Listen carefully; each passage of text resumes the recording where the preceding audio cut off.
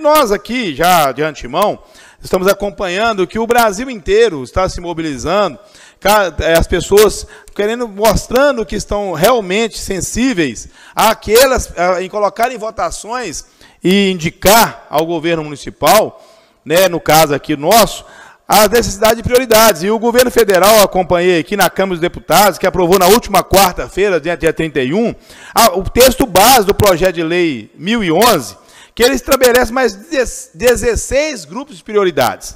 Ora, nada nessa vida precisa ser, precisa ser constante e uma vez só. As coisas têm que estar mudando mesmo. Quando, é nesse, quando a gente tem a sensibilidade e é percebido que tem algumas classes que elas têm que ser tratadas como é, prioritária, a gente tem que fazer mesmo. E a Câmara dos Deputados aprovou esse texto base e coloca para a alegria né, de Vossas Excelências, né, que já mencionaram aqui, mais 16 grupos. Dentre eles eu posso elencar aqui, ó, são servidores do Sistema Único de Assistência Social, das entidades e organizações de assistência sociais, dos conselheiros tutelares. Pessoas que os conselheiros tutelares estão na rua, atendendo nossas crianças, nossos adolescentes, eles precisam ser tratados como, como prioridade. Né? Os trabalhadores de educação, de ensino básico, em exercício nos ambientes escolares, os coveiros, já foi pedido aqui, os coveiros vão, vão fazer parte agora do, do grupo né, de prioridades.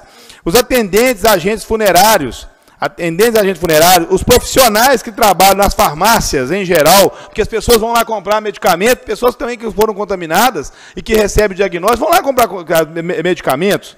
Então, assim, os oficiais de justiça, aqueles que dão condição da nossa justiça continuar sendo exercida, né? Os taxistas, os mototaxistas, vereador Adiel, vão ser estão considerados agora como grupo de prioridades, né? Os profissionais de limpeza pública. Então, eu quero dizer para vossas excelências que aqui agora, é, eu particularmente, farei indicações, indicações parlamentares ao executivo.